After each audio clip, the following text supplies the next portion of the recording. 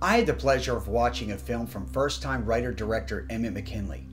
The movie is yet to be released, but promises to be one you should look for.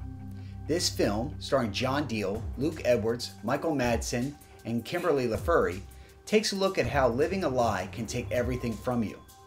Serpent in the Bottle is a tragic tale of one young man's desire to conform to societal pressure in the face of his own personal and internal conflicts.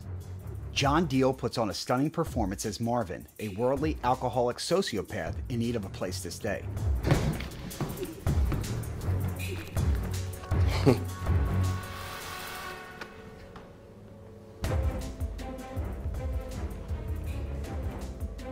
when Luke Edwards' character Trent takes a deal from his landlord to house his father in law, Marvin, for a few days in exchange for a free month's rent, his assumed life slowly gets torn apart. Hey, Trent, listen, I got a big favor I have to ask you. What this movie aims to address is the judicious and buried emotion people in Trent's position are facing in society. So, if you'll excuse me, excuse me. Of course. Thank you for the company.